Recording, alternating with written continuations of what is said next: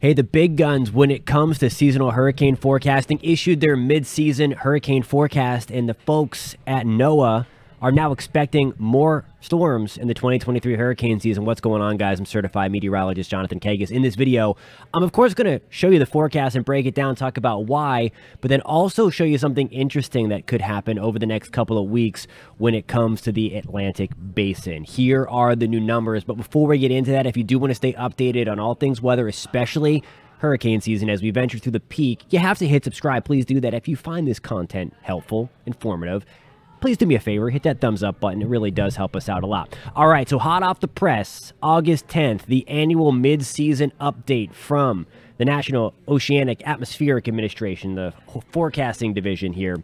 14 to 21 named storms. Now, this does include the five named storms that we've already had this season, but look at the change. That was up from 12 to 17 from their preseason forecast issued at the end of May. Now expecting 6 to 11 hurricanes. Remember, we've only had one hurricane. That was Don. So expecting five more at least. Major hurricanes now expecting 2 to 5. So again, this is a pretty significant jump here when it comes to the midseason forecast. Again, on average, we typically see 14 named storms, so they are starting their lowest part at average and then increasing it up to potentially 21. Now, the reason for this is because of the extremely warm waters of the Atlantic Ocean. We've documented this a lot. But what is interesting about this is the folks at NOAA, anyway, believe that the extremely warm water temperatures are going to counteract this. And what you see on your screen here are the temperature anomalies that signal El Nino. We've talked about it being here. It's been here since June. It continues to strengthen. But all this purple here represents the sea surface temperature anomaly that is El Nino. Now, typically, El Nino means a way more active Pacific, and I'm going to show you that in just one second. It's going nuts right now. And a less active Atlantic because of increased wind shear. But again, they're believing that the warm waters of the Atlantic are going to kind of counteract some of the limiting factors that El Nino brings on. Now, look at this. This is how warm. We're talking sea surface temperature anomalies greater than 5 or 6 degrees Celsius, where you're talking about this darker purple and almost black color into the North Atlantic. So maybe they're thinking we can get some of that late season activity, October, November, maybe even extending beyond the season because the water is so warm. Now, one thing I will say here, it's kind of weird and it's still going to be very, very interesting to see what happens. Is that typically as we get deeper into hurricane season, the impacts of that wind shear from El Nino get stronger. So now we're going to be dealing with that. We're going to talk much more about that through the course of this video, and then I'll show you what's interesting in some of the modeling over the next two weeks. But one of the calling cards of El Nino is a very active Pacific Ocean in terms of the tropical activity. And that's exactly what we have. You can't have storms going nuts in both basins. That's other that's also important. More often than not anyway, you get rising motion in either the Pacific or the Atlantic, then it's the opposite. Right now, we clearly have rising motion. Look at this. Here is Hurricane Dora.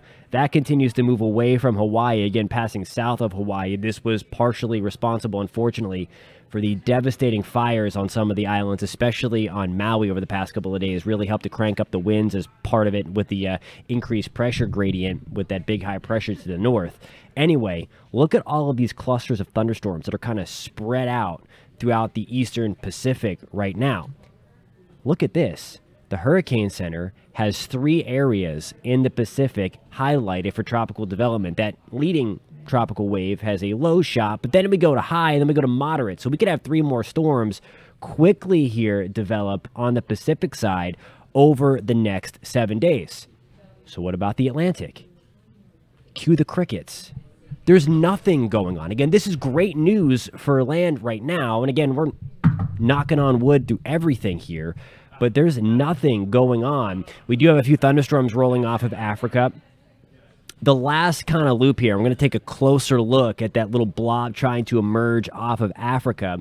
There are some indications that that one is going to try to develop. So here's a closer look at this tropical wave here that's still overland. And this is what we start to see as we get deeper into August and then the first couple of weeks of September. These waves starting to become a little more prolific, a little more numerous that roll off of the African mainland, these thunderstorm complexes. That's what we've had happening for the last couple of weeks but the Atlantic basin has just not been able to support them. They've been spit out by Africa, and then the Atlantic has gobbled them up. It's been dry air dominating the basin, it's been sinking air dominating the basin. Both things go against tropical development. Now, what I'm about to show you, what I'm about to show you is just a model forecast. This is one representation here of the next 10 ish days.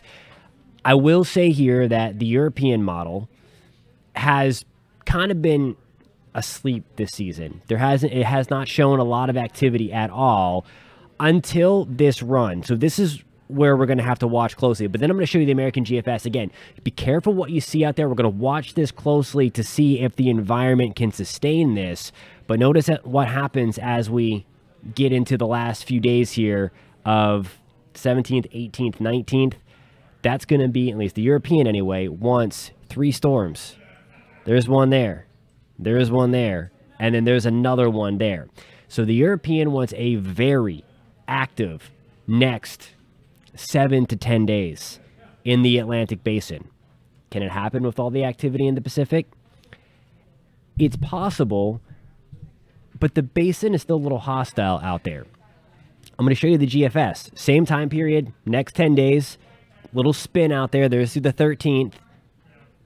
But now you don't see those big consolidated balls, if you will, that big beaming red to indicate a lot of low level spin and a lot of strong low level spin, okay?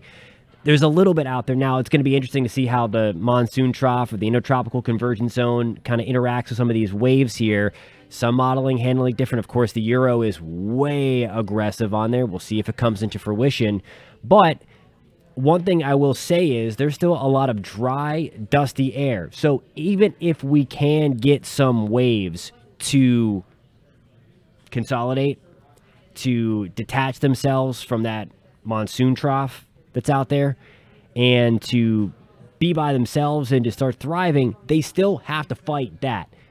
Saharan dust is just one of the components here. There's still just a lot of dry air in the mid levels of the atmosphere, and there's a lot of sinking air. Remember, I showed you the crazy active thunderstorms out there, the named storms that are out there in the Pacific that's where all of the widespread rising air is right now when it comes to the tropics. It's in the Pacific. We'll see if we can flip that switch. We'll see if we can do that again. The European wants to, but the Atlantic is still a little hostile out there.